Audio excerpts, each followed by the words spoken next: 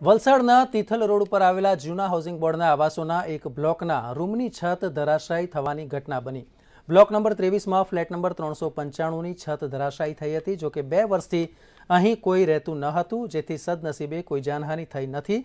જોકે છત ધરાશાયી થતાં લોકોમાં ગભરાટનો માહોલ પણ જોવા મળ્યો. મહત્વપૂર્ણ છે કે બાર ફ્લેટ ધરાવતી બિલ્ડિંગના સાત ફ્લેટમાં લોકો રહે છે.